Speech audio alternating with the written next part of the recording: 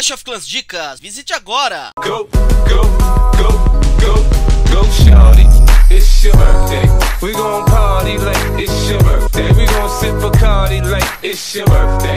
And you know we don't give a E aí, Clashers, beleza? Bruno Clash na área, mais um vídeo pra vocês, outro sneak peek extra. Na verdade, a gente já sabia sobre o assunto, mas não tinha visto ainda em prática. Então, tô trazendo aqui pra vocês no canal Bruno Clash esta nova funcionalidade. Eu criei um clã aqui, ó, o Cala a Boca.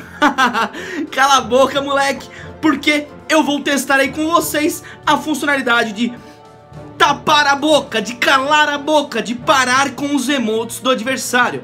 Isso mesmo, para isso eu vou chamar uma partida aqui comigo mesmo, uma outra conta minha de desenvolvedor, e aí a gente vai poder testar. Então é Bruno Clash contra Bruno Clash, vocês vão ver aí o que eu vou fazer com esse Bruno Clash que não para de mandar mensagens, me irritando, me deixando muito nervoso, irmão. Então, essa é a hora de bloquear esse mano. Vamos lá, vamos começar aqui, ó. O cara começa lá, ó, o Bruno Clash lá em cima, começa a mandar várias carinhas. Até eu exagerei nas carinhas. Mandando várias carinhas, mandando várias mensagens. O que eu faço?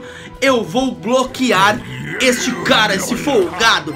Eu clico ali, ó, mandar mensagem. Tem o um botãozinho do lado que apareceu. Cliquei no botão, já mutou. O cara continua mandando mensagem, esse Bruno Clash safado. E aí o que acontece é aquilo ali, ó. Começa a mandar mensaginhas só pra você saber que ele tava tentando se comunicar com você, mas não funciona, rapaziada. A gente não sabe o que ele tá mandando. Então o cara continua mandando aquelas mensaginhas de três pontinhos, a gente não sabe o que ele tá querendo dizer, e ele pensa que tá todo bonitão, arrasando, e a gente, ó, nem liga, irmão. E aí a gente tem a possibilidade também, vou colocar aqui pra acabar, a gente tem a possibilidade também de voltar a, a receber as mensagens do cara. Então a gente multa por um tempo e depois pode voltar a receber tranquilamente. É só ir lá no mesmo lugar e é, desmarcar a opção de multi-emote. Então é mais tranquilo. Você vai poder escolher agora se é o fim dos emotes no seu Clash Royale ou não. Se você acha bacana, se você trabalha com isso também.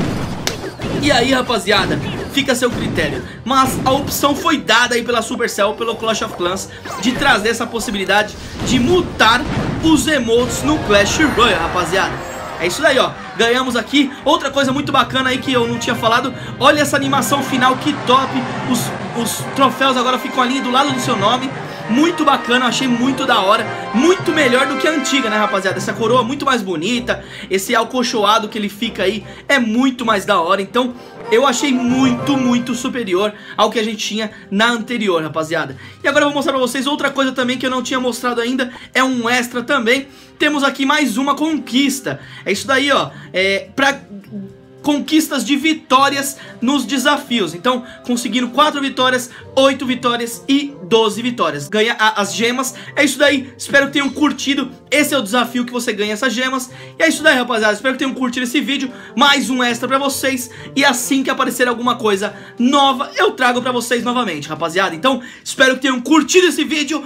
Não esqueçam de se inscrever. Não me venham com papagaiadas. Mete o like pra fortalecer. E se aparecer coisa nova, eu venho correndo aqui. Então, se inscreve, moleque. Se inscreve porque tem coisa bacana. É nóis. Fui!